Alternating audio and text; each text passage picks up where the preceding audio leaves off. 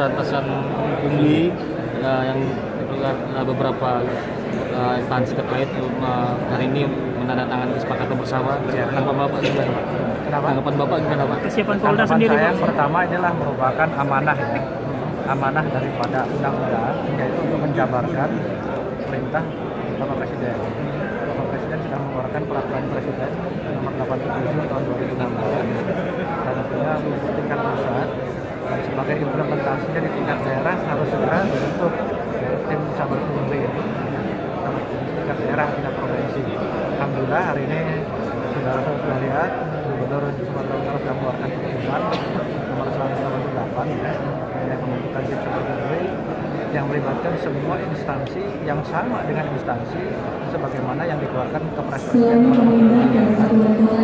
kelompok kerja juga sama kelompok kerja bidang intelijen bidang pencegahan penindakan dan justisi. Ya semua juga kebijakannya tentunya pembentukan sabar fungsi ini bukan hanya melakukan upaya-upaya penegakan hukum.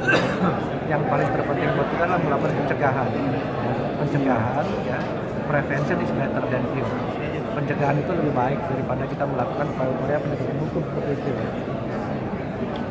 Penegakan hukum kita harapkan menjadi satu pilihan yang terakhir ultimum remedium ya pertama pencegahan. Pencegahan dengan melakukan pemberdayaan peningkatan kapasitas daripada seluruh lembaga pelayanan publik termasuk petugas-petugasnya sarananya ya.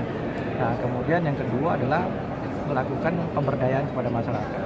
Masyarakat juga perlu diberikan uh, pengetahuan ya. Diberikan pembiasaan diberikan uh, kemampuan untuk bisa uh, membantu para petugas tidak melakukan pungli tadi seperti itu.